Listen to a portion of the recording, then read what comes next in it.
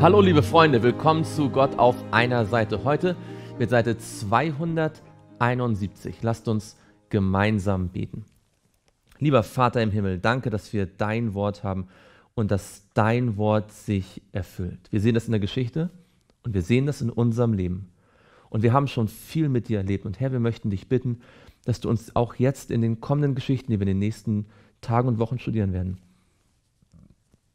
dass du uns helfen wirst, dein Wort so zu verstehen, wie du es gemeint hast und dass wir in unserem Leben noch näher zu dir hinwachsen. Das bitten wir im Namen Jesu. Amen.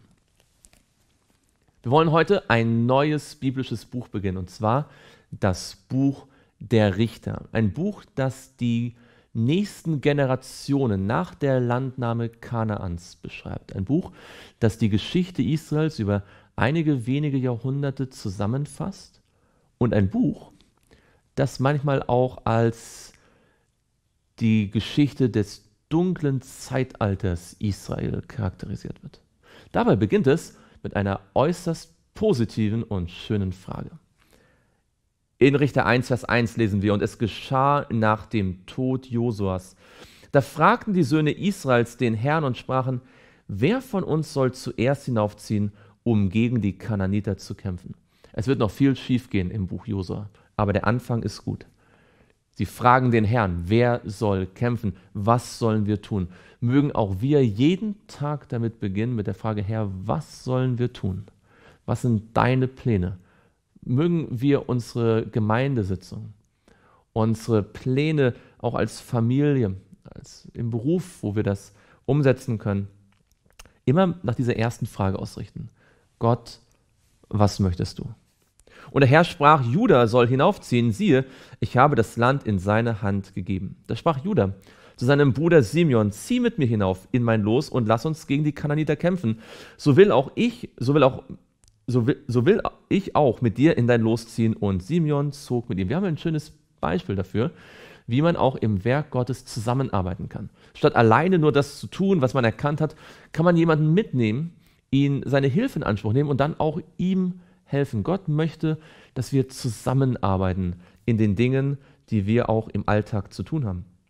Und als nun Judah hinaufzog, gab der Herr die Kananiter und die Pheresiter in ihre Hand und sie schlugen sie bei Besek 10.000 Mann. Und als sie den Adoni Besek in Besek fanden, kämpften sie gegen ihn und sie schlugen die Kananiter und Pheresiter. Und Adoni Besek floh.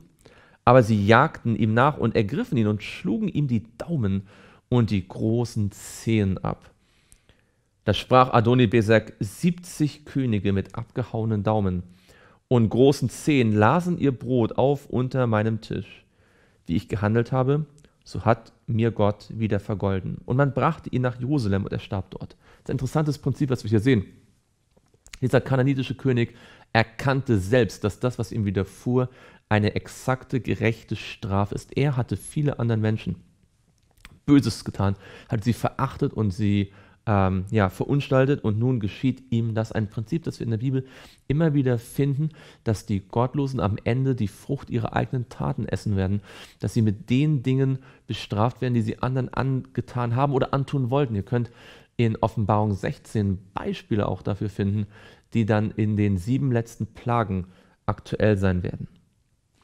Die Söhne Judas hatten nämlich gegen Jerusalem gekämpft und es erobert.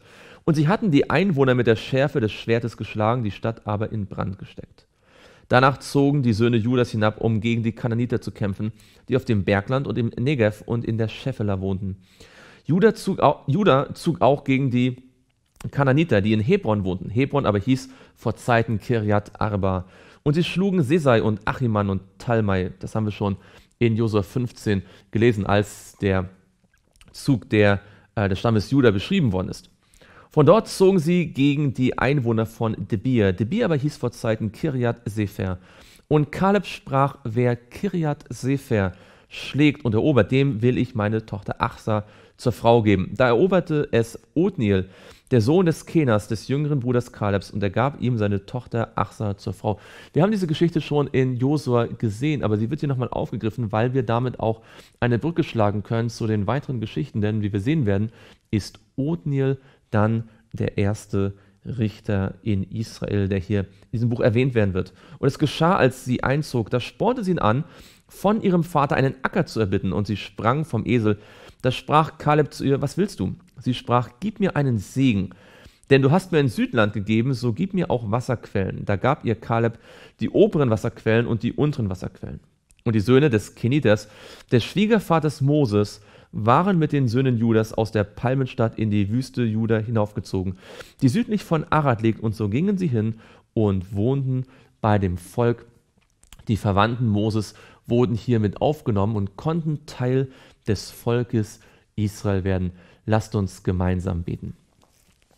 Lieber Vater im Himmel, wir möchten dich bitten von ganzem Herzen, dass wir lernen, zuallererst danach zu fragen, was dein Wille ist in all unseren Unternehmungen, in allem, was wir planen, das auf Arbeit, im Studium, in der Schule, in der Freizeit, in der Gemeinde. Lass uns deinen Willen zur obersten Richtschnur unseres Handelns machen. Das bitten wir im Namen Jesu. Amen.